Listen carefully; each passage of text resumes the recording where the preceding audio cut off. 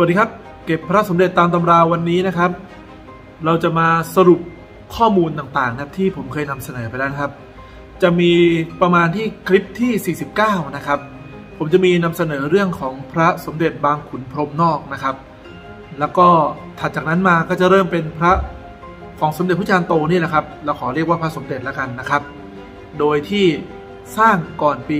2407 ก่อนที่จะเป็นสมเด็จพระพุทธจารย์ครับ ซึ่งจะประมวลภาพเหตุผลทั้งหมดมานะเพื่อให้ทุกท่านได้มองเห็น แล้ววิเคราะห์พิจารณานะครับ ตามหลักเหตุและผลนะครับ หากย้อนไปดูนะครับ หนังสือที่พูดถึงเรื่องของพระในยุคก่อนที่เป็นสมเด็จพระจารย์โตเนี่ยนะครับ ก็จะเป็นหนังสือของอาจารย์ชลามชั่วช่วงมนัสยอขันนะครับ โดยเป็นบันทึกของลุงปู่คำนะครับ ซึ่งบันทึกต่อกันมาในกลุ่มช่างสิบหมู่ ซึ่งในนั้นเนี่ยนะครับจะมีคำบรรยายและมีรูปภาพ หากเราเปรียบเทียบช่วงเวลาและประวัติ อิงตามประวัติที่อยู่ตามวัดละคังนะครับ อาจจะมี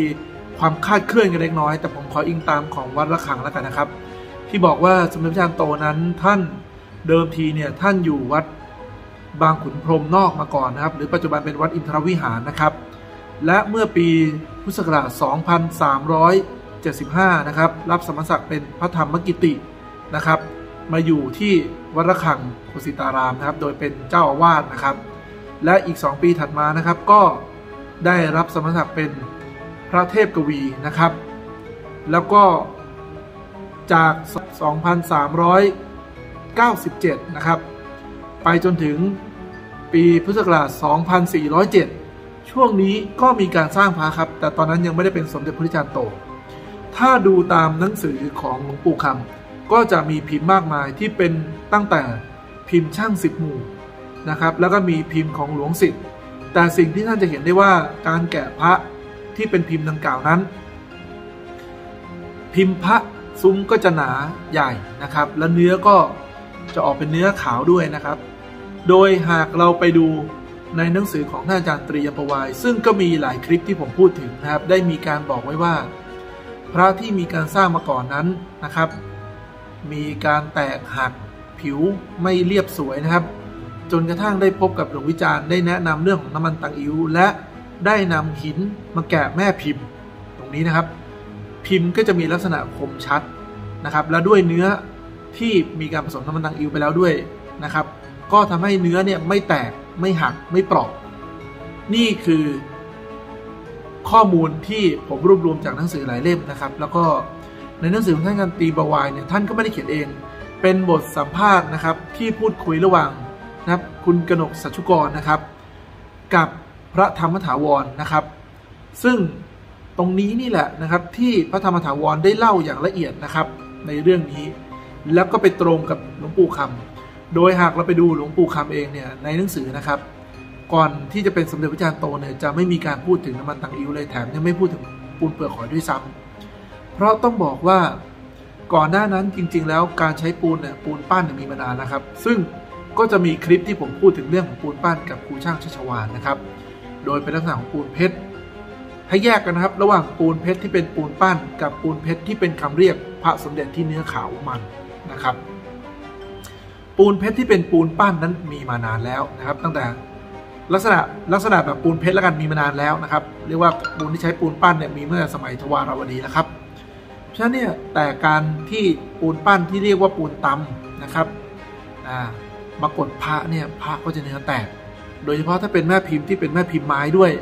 ซึ่งในหนังสือหลวงปู่คำเองก็พูดว่าก่อนหน้านั้นเนี่ยมีห้องของสัพยานโตเนี่ยที่เก็บแม่พิมพ์ไม้จำนวนมากมหาศาลเต็มห้องเลยนะครับ เพราะฉะนั้นเนี่ยทั้งหมดนี้เป็นสิ่งที่เป็นฐานข้อมูลที่จะทำให้เรานะครับ สืบสาวเราเรื่องได้ว่า พระก่อนที่จะเป็นยุคสมเด็จพระจารย์โตนั้น มีลักษณะเป็นอย่างไรนะครับ หากมาดูลักษณะพิมพ์ของพระหลวงวิจารณ์เจรไนนะครับแล้วเราจะเห็นได้ว่าพระที่เป็นยุคสมเด็จแล้วเนี่ยซุ้มนะครับแม้จะเป็นซุ้มเผ่าหวายแต่ก็ไม่ได้มีลักษณะใหญ่มากนะครับ มีความโค้งนุ่มแล้วก็เส้นเนี่ยไม่ได้ไม่ได้หนาใหญ่ทุกอย่างสมส่วนจนถึงเรื่องของ golden ratio ซึ่งเรื่องนี้ผมก็เคยทำคลิปเรื่อง golden ratio เต็มๆไปอย่างน้อย 3 คลิปนะครับ ท่านสามารถกลับไปดูได้ ทั้งหมดเนี่ยเราจะบีบข้อมูลนะครับ ให้กลับไปดูซ้ำนะครับ ให้กระชับขึ้นนะครับ ผมจะพูดรวบรัดแล้วนะครับ ย่อ เพื่อที่จะให้เราดูแล้วเราได้จำแนกเอายุคเอาปีเอาข้อมูลมาจำแนกนะครับ ว่าพระเป็นอย่างไร ซึ่งพระบางขุนพรมนอกเนี่ย เป็นพระที่ไม่ได้อยู่ในกลุ่มทำแล้วแจก มีทั้งบางขุนพรมนอกที่อยู่ในช่วงก่อนเป็นสมเด็จ และเมื่อท่านเป็นสมเด็จพระจารย์โตแล้วก็มีพระบางขุนพรมนอกเช่นเดียวกัน เพราะว่าสมเด็จพระจารย์โตนะครับในช่วงสุดท้ายจริงๆ ท่านก็ไปอยู่ที่วัดบางขุนพรมนอกเหมือนกันนะครับ ในช่วงที่มีการก่อสร้างนะครับ ปัจจุบันที่เป็นพระยืนนะครับ ซึ่งระหว่างที่อยู่ที่นั่น ก็มีบันทึกเขียนไว้ว่ามีการนะครับตำพระนะครับทำปูนเพื่อตำปูนตำเพื่อทำพระนะครับ แล้วก็มีการทำแจกไปด้วยนะครับ นอกจากนั้นอีกสิ่งหนึ่งที่เรารู้ในหนังสือหลวงปู่คำเองก็บอกไว้ว่า ในช่วงปีพุทธศักราช 2412 2413 เนี่ยนะครับหรือ 2412 2413 เนี่ยหลวงพ่อจารย์เจรนายเองก็มีการทำพิมพ์พระที่เป็นเหมือนกับย้อนยุคครับ ก็คือพิมพ์วัชโยก็กลับมาทำใหม่นะครับ พิมพ์ปรกโพที่เคยทำในอดีต เป็นปรกโพ5ปรกโพ6ก็กลับมาทำใหม่ แล้วก็อาจจะรวมถึงพิมพ์ต่างๆ ที่เคยมีในอดีตมาก่อน ที่จะอยู่ในยุคสมเด็จก็กลับมาทำใหม่ เพราะฉะนั้นเนี่ย ทำให้เราจะสามารถแยกพระแยกพิมพ์และแยกเนื้อออกได้นะครับ อันนี้นี่แหละถือว่าเป็นข้อมูลสำคัญที่ผมพยายามประมวลผลให้ท่านได้นึกตามนะครับ ในเรื่องราวต่างๆ ที่ผ่านมาแล้ว ผมทำมาหลายคลิปแล้วเนี่ย เพราะฉะนั้นคลิปนี้ไปเรื่อยๆเนี่ยก็จะย่อแล้วนะครับ สรุปใน 5-6นาทีแรก เพื่อที่จะมาดูเนื้อพระพิมพ์พระให้เป็นความรู้นะครับนั้นขอให้ท่านนะครับ ถ้าลืมตรงไหนก็ย้อนกลับไปดูนะครับ มันจะมีอธิบายแบบละเอียดอ่านละเอียดเป็นหน้า ๆ เลยนะครับ ซึ่งในคลิปหลังนี้เราก็อาจจะพูดย่อ แต่หากท่านใดนะครับ อยากให้กลับมาอธิบายซ้ำใหม่นะครับโอเคกก็เขียนมาพิมพ์มาผมก็จะอธิบายซ้ำแบบละเอียดอีกทีหนึ่งฉะนั้นเนี่ยในหลาย ๆ หนังสือเราดูแล้วเนี่ยเราพบว่าเอ๊ะมันน่าจะมีการจำแยกจำแนกได้นะครับโอเคครับ เดี๋ยวเราจะไปดูว่า พระที่น่าจะเป็นบางผมนอก และพระที่ก่อนที่จะเป็นสมเด็จเนี่ยนะครับ เป็นอย่างไร ซึ่งผมก็น่าจะมีขึ้นภาพในระหว่างที่พูดนี้ไว้แล้วนะครับ พระพิมพ์ที่เห็นนะครับในบันทึกหลวงปู่คำนะครับได้บอกว่ามีอยู่สองเนื้อครับ ถ้าเป็นช่วงแรกที่เป็นเนื้อผงวิเศษนะครับ ผสมข้าวสุกนะครับ แล้วก็มีมวลสารต่างๆ ผงใบลานเผานะครับ ผงตะไคร่เจดีนะครับ ก็มีสร้างตั้งแต่ช่วงปี 2405 ครับ และมีการสร้างอีกทีหนึ่งนะครับ ในช่วงปี 2410 นะครับ ตอนนั้นจะเป็นเนื้อผงผสมปูนเปลือกหอย และน้ำมันต่างอิวราครับนะครับ เพราะฉะนั้นเนี่ยนะครับจะเห็นได้ว่ามี 2 ช่วงนะครับ ซึ่งช่วงแรกเราจะรู้เราก็ต้องดูที่มวลสารนะครับ และในนี้บอกพิมพ์เนี่ยเป็นลักษณะพิมพ์ของหลวงสิทธิ์นะครับ ซึ่งเป็นพิมพ์ชายจีวรบางนะครับ เดี๋ยวเราจะมาชมพระที่มีลักษณะเดียวกันครับ ใกล้เคียงกันนะครับ แล้ววิเคราะห์ธาตุนะครับ และส่วนผสมด้วย X-ray fluorescent ครับอลองดูตรงนี้นะครับลองดูเนื้อครับ ว่าจริงๆแล้ว เนื้อจะเป็นอย่างไรบ้างนะครับดูค่าที่ amulet นะครับ ที่เรา เลือกมาเพื่อพิจารณาความสำคัญของธาตุนะครับ ดูว่าจะเจอธาตุใดครับ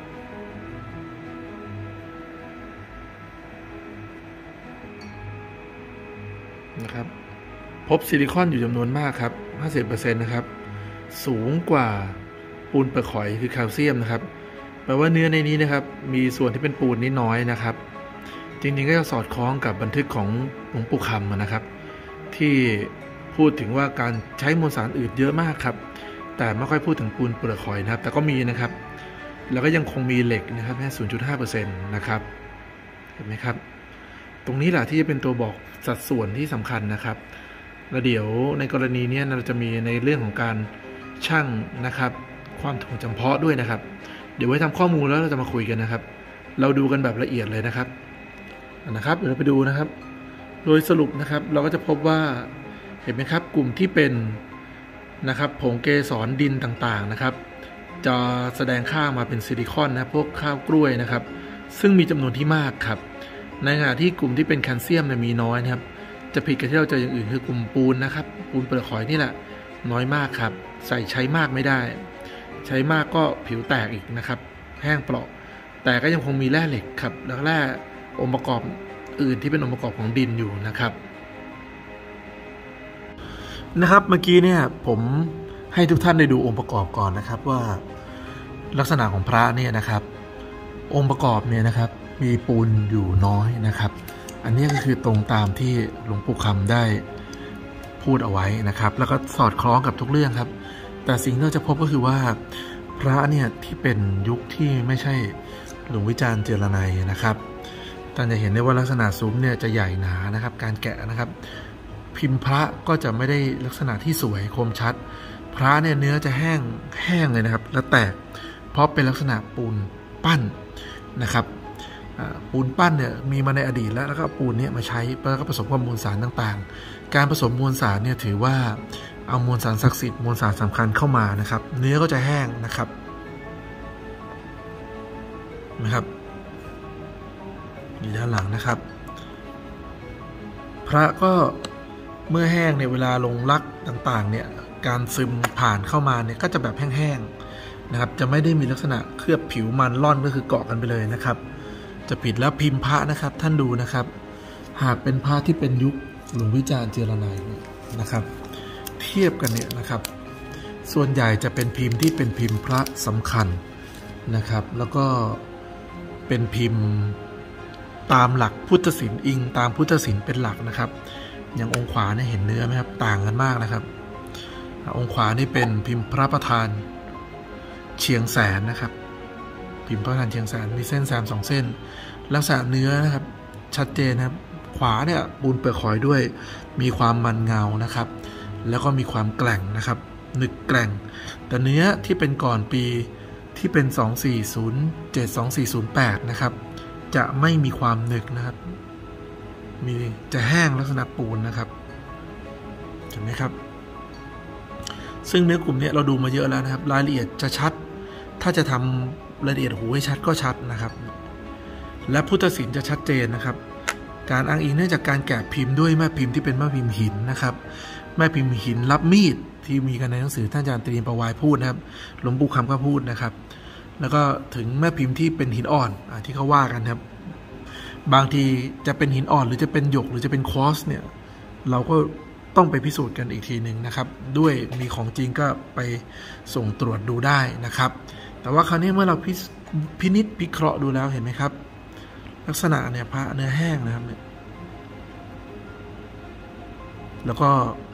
พิมพ์เนี่ยนะครับ ก็ต้องบอกว่าก็ไม่ได้มีความคมชัดสวย เนื่องจากแม่พิมพ์ด้วย เนื่องจากเนื้อมวลสารด้วยนะครับ ลักษณะซุ้มก็จะเป็นซุ้มหนานะครับ วันนี้ทุกท่านได้เห็นนะครับอะนะครับ สภาพพระแห้งนะครับ เดี๋ยวเราเข้าไปดูว่าองค์ประกอบมวลสารเป็นอย่างไรนะครับ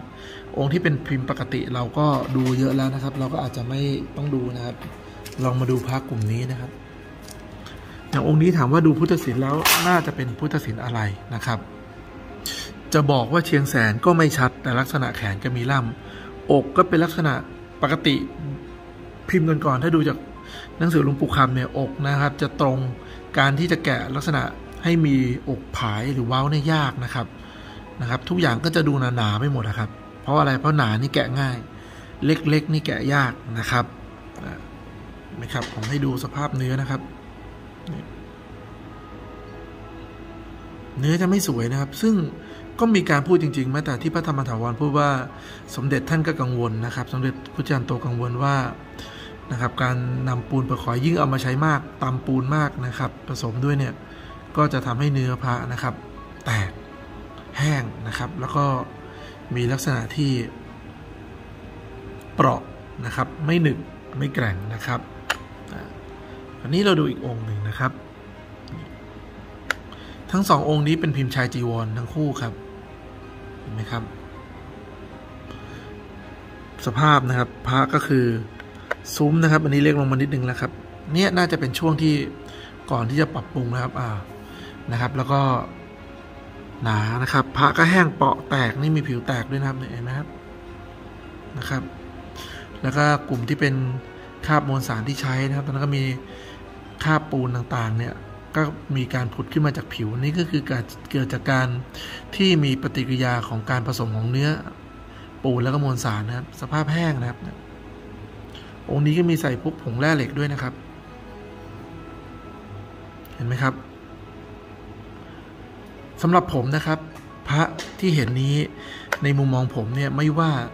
จะมองว่าสวยไม่สวยเนี่ยถือว่าส่งคุณค่าในเชิงอนุรักษ์นะครับ แล้วก็ต้องขอบคุณท่านที่ได้เก็บนะครับพระแล้วก็มีประวัติความเป็นมาแล้วได้เอาตัวอย่างไม่ดูนะครับ หลายคนมองอาจจะบอกผิดพิมพ์เอ๊แต่ว่าอย่างที่ผมบอกนะครับว่า ถ้าไม่อยู่ในกลุ่มพิมพ์นิยมสีพิมพ์ที่เขาเล่นหากันนะครับไม่ก็ไม่มีเหตุผลนะครับที่ใครจะปลอมนะครับนะครับ แล้วก็ต้องขอบคุณผู้ที่เก็บมาก็คือเก็บอย่างดีครับพระไม่ได้ใช้นะครับ แต่ว่าพอเราเห็นสภาพได้ไหมครับ เนี่ย ก่อนที่จะได้เนื้อและได้สูตรผสมที่ลงตัวนะครับ ก็จะมีลักษณะที่ผิวจะไม่สวยงามครับ ซึ่งในหนังสือของหลวงปู่คำเนี่ยจะเห็นได้เยอะมากครับพระที่มีลักษณะแตกต่างหลากหลายทั้งหมดนะครับ จะมีนะครับ สภาพผิวพระนี่จะบอกเลยครับว่าแห้งนะครับ ลักษณะความหนึกจะไม่ปรากฏครับท่านจะไม่เจอความหนึกครับ สิ่งที่เจอก็จะมีจะเจอปฏิกิริยาที่เกิดขึ้นระหว่างปูนแล้วก็มวลสารต่างๆ ที่ทำพระนะครับและพระก็จะดูหนาๆใหญ่ ๆ นะครับเนี่ยทั้งแขนซุ้มนะครับ และความลึกตื้นนะครับ มีแต่ว่าไม่ชัดเจนนะครับเห็นไหมครับ ปกติถ้าเป็นพระที่เป็นหลวงวิจารณ์เนี่ยนะครับ พิมพ์เนี่ยที่เป็นองค์พระจะลอยเด่นชัดเจนเหนือซุ้มนะครับ อันนี้ก็คือลึกเห็นเหมือนกันแต่ก็ไม่ชัดเจนอีกนะครับ ซุ้มก็หนานะครับ แล้วการระบุพุทธศิลป์เนี่ยดูยากนะครับ ไม่เหมือนพระที่เป็นพิมพ์ยุคที่เป็นสมเด็จพระจารย์โตแล้วเนี่ยนะครับพุทธศิลป์นี่ดูง่าย ดูรู้เลยที่ให้ดูนะสุขโขทัยเชียงแสนอู่ทองแยกยุคแยกศิลปะชัดเจนนะครับ อันนี้คือสิ่งที่อยากจะให้ได้ทำความเข้าใจนะครับ นะมีผลนะครับการแยกยุคแยกศิลปะ นั่นหมายความว่าฝีมือช่างเนี่ยนะครับ อุปกรณ์มีการพัฒนาเราดูแล้วก็รู้ครับเออนี้เชียงแสนถูกต้อง แต่ก่อนหน้านั้นนะครับ แกแค่เป็นพิมพ์รูปพระนะครับก็โอเคแล้วนะครับโอเคนะครับเรามาดูนะครับ ท่านจะเห็นได้ว่าลักษณะอ่านนี้เราดูเห็นองค์พระเลยครับ เห็นไหมครับ แม้แต่ใบหน้านะครับก็ ไม่ได้มีเนี่ยเราเห็นพุทธศิลป์เราก็ดูยากนะครับ มีพระเกศมาลานะพระรัศมีเปลวนะครับ เวลาดูเนี่ยนะครับ เราก็ดูว่าโอเคนะพุทธศิลป์ก็แตกต่างจากที่ผมเคยให้ดูหลาย ๆ คลิปนะครับ พระที่เป็นยุคสมเด็จพระจันทร์โตพุทธศิลป์ชัดเจนนะครับ แม้แต่พิมพ์ที่เป็นพิมพ์นิยม A B C ก็สวยงามนะครับ ดูลักษณะหัวไหล่เห็นไหมครับ บางท่านดูอาจจะบอกผิดพิมพ์ แต่ผมดูในเชิงอนุรักษ์ ผมว่ามีเสน่ห์ในตัวใช้คำนี้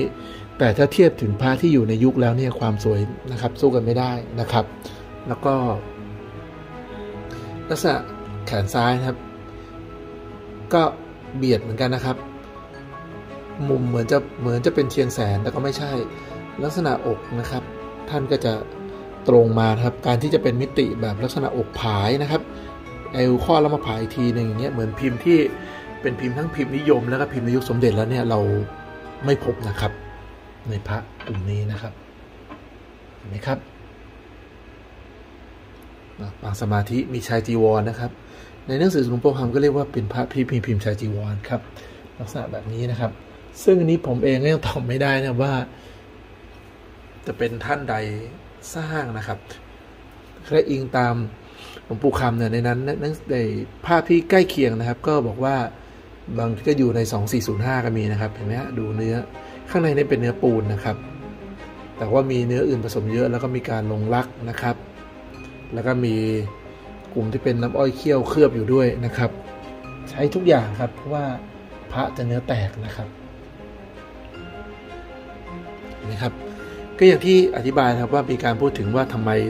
ถึงได้มีความรู้สึกที่ชอบพิมพ์ที่เรียกว่าพิมพ์พระหลวงวิจารณ์นะครับ ที่ว่ากันตามในหนังสือของท่านอาจารย์ตีนประวาย เขาว่าพระออกมาเนื้อสวยนะครับแล้วแตกต่างอันนี้ก็เป็น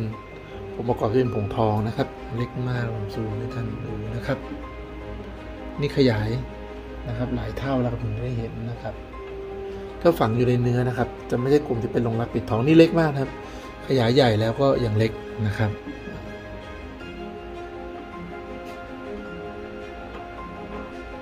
อันนี้เราต้องวัดความถ่วงเฉพาะอีกทีหนึ่งด้วยนะครับ ถ้าจะส่วนผมเนี่ยผมประเมินด้วย เรียกว่าประสบการณ์ส่วนตัวเนี่ย ผมก็ว่าใช่อย่างที่อธิบายทุกท่านแหละครับว่าเป็นพระนะครับก่อน 2407 ก่อน 2408 เลยนะครับเนี่ยนะครับนะครับและเนื้อนะครับ ต้องลงรักต้องลงอะไรช่วยนะครับ แล้วเราก็พบราคาที่เป็นกลุ่มซิลิคอนก็สูงนะครับ ในเนื้อพระนะครับ ปูนมีเหมือนครับแต่สัดส่วนน้อยนะนี่ก็เป็นไปสอดคล้องกับบันทึกหลวงปู่คำเพราะฉะนั้นเนี่ยมวลสารอื่น เชื่อว่าก็ต้องย่อมมีอยู่ครับ แต่ว่าบางทีก็อาจจะถูกบังบ้างนะครับ นี่ทุกท่านดูธรรมชาตินะครับนะครับก็ดูยากถ้าเราดูกลุ่มที่เป็นตรงนี้นะครับเนี้ยความที่อยู่มานานนะครับการประสานของเนื้อ แม้ว่าจะไม่ใช่กลุ่มมวลสารที่ได้ทำมาดีแล้วนะครับ มีน้ำมันต่างอิวแล้วแต่โอกาสที่เนื้อจะแตกจะย่อยเนี่ยไม่มีเห็นนะครับ ยิ่งซูมเยอะ เราก็ยังคงเห็นความหนึกเล็ก ๆ น้อยๆนะครับลักษณะที่คล้ายๆผิวหินอ่อนก็ยังคงมีอยู่นะครับ ที่ผมจะให้ท่านสังเกตเสมอ แต่ว่ากลุ่มที่เป็นฟิล์มหรือแคลไซต์เนี่ยจะน้อยเลยนะครับ ตามสัดส่วนเนื้อปูนที่มีจะมีจะไม่เหมือนกันให้ย้อนกลับไปดูทุกคลิปนะครับ เวลาผมซูมกำลังขยายตั้งแต่500 เท่าขึ้นเนี่ย ท่านจะพบเหมือนเป็นฟิล์มบางๆวาวๆเหมือนเคลือบที่เป็นเปลือกหอยมุกอะไรพวกนี้นะครับ จะเห็นเยอะแต่นี่จะเห็นน้อย แต่เนื้อซูมยังไงก็จะไม่แตกไม่เป็นขุยนะครับ อันนี้คือเรื่องของอายุที่อยู่กันมายาวนานนะครับ เนื้อก็มีการสมานแล้วก็ด้วยมวลสารที่เป็นกลุ่มข้าวกล้วยด้วยนะครับ มีความหนึกเล็กน้อยเหมือนกันครับ แต่ว่า จะเทียบกับกลุ่มที่เป็นพระสวยแล้วเนี่ยนะที่เนื้อพัฒนาแล้วในยุค 2408เนี่ยไม่ได้นะครับ เห็นไหมครับ ส่วนที่ผสมกันเนี่ย ความหนึกจะมีแยกกระจายนะครับ จะไม่เหมือนกับที่เราดูเนื้อที่ผ่านกระบวนการพัฒนาแล้วเนี่ยโอ้โหจะสวยงามมากนะครับ เวลาขยายกำลังขยายสูง ที่ดูที่ผิวนะครับ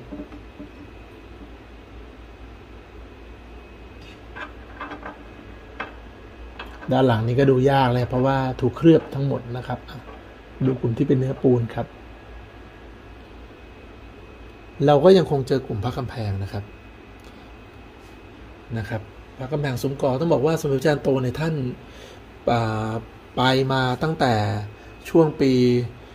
2392 นะครับ แต่ว่าพระเนี่ยก็สร้างหลัง 2392 มาแล้วนะครับ ถ้าว่ากันตามหลวงปู่คำก็ ประมาณปี 2405 ด้วย เป็นสมเด็จแล้วด้วยนะองค์นี้นะครับ แต่ว่าก่อนที่จะพบหลวงวิจารณ์นะครับ นี่ก็เป็นกลุ่มผงพิเศษครับ เห็นไหมฮะขาวก้อนนะครับ แยกมาพระกำแพงซุ้มกอนะครับ แล้วก็มีกลุ่มหินดินเขียวเนี่ยมีอยู่นะครับ เล็กๆ น้อยๆ ปนกันอยู่นะครับ สัดส่วนยังไม่ลงตัวนะครับแต่เราก็จะพบจะเจอนะครับ ผงถ่านนี่ก็มีนะครับ อยู่ใต้ผิวนะครับ ผงทองนี่ก็มีนะครับ เราจะไม่นับถึงทองที่อยู่บนลักนะครับแต่เอาที่อยู่ในผิวเท่านั้นนะครับ เพื่อที่ได้เห็นว่ามีจริงๆ สัดส่วนองค์ประกอบที่สำคัญก็ยังคงมียังคงอยู่นะครับ อย่างนี้ก็คือทองนะครับเห็นไหมอยู่ในเนื้อนะครับนี่นะครับ อยู่ในเนื้อเลยนะครับ นี่เห็นไหมครับ ไม่ใช่กลุ่มทองคำเปลวนะครับ แต่ว่าสิ่งที่เป็นตัวบ่งบอกที่เหมือนกันที่ผมพบเจออยู่ในกลุ่มนี้คือเมื่อเราส่องกล้องที่เป็นกำลังขยายสูงครับ เนื้อจะไม่แตกครับ จะไม่ได้เป็นเหลี่ยมๆเม็ดเม็ดขุยๆนะครับ แต่จะเหมือนพื้นหินอ่อนเพียงแต่ว่าพระที่เป็นยุคก่อน 2408 เนี่ย เราขยายเนี่ยเนื้อมันหินอ่อนก็จริงแต่ว่า ความวาวที่เป็นฟิล์มเคลือบเนี่ยเราจะไม่เจอนะครับอลองเปรียบเทียบดูก็ได้นะครับนะครับ ภาพนี้นะครับเป็นพระสมเด็จนะครับ พิมพ์เชียงแสนที่ผมมาให้ดูในคลิปนะครับเราพบแร่เหล็กนะครับ และที่สำคัญคือเวลาเราส่องกล้องขยายกำลังสูงครับ เนื้อเนี่ยไม่แตกนะครับ เหมือนหินอ่อน แต่ว่าเราจะพบอะไรครับ เราจะพบเป็นฟิล์มนะครับ ที่มีความวาวลักษณะเหมือนหอยมุกนะครับ เป็นแคลไซต์นะครับและส่วนนี้จะเหมือนพื้นหินอ่อนเลยนะครับ จะเหมือนหินอ่อนมาก อันเนี้ยเหมือนกันเวลาขยายกำลังสูงแต่ต่างกันนะครับ ตรงที่ความวาวของปูนเปลือกหอยเนี่ยเพราะนี่ใช้เยอะ แล้วก็มีการผสมน้ำมันตังอิวแล้วด้วยนะครับ การที่เนื้อมีการขับ กลุ่มที่เป็นน้ำปูนหรือคลไซต์ขึ้นมาที่ผิวเราก็จะเจอเยอะนะครับ นี่ก็คือกลุ่มที่เป็นหินดินเขียวทั้งหมดนะครับเนี่ยนะครับ กลุ่มพวกดินเจ็ดป่านะที่ว่ากันก็อยู่ในนี้นะครับ ซึ่งเนี่ยเราวิเคราะห์แบบนี้ด้านหลังเนี่ย ขยายไม่แตกนะครับ แต่ว่าอันนี้องค์เดิมนะครับ